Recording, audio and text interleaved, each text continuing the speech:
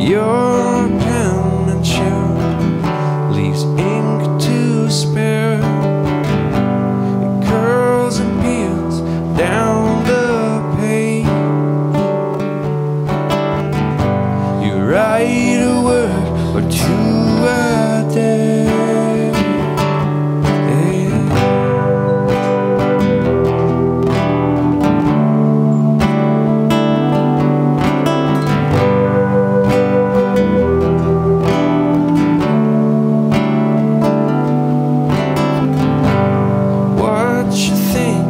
You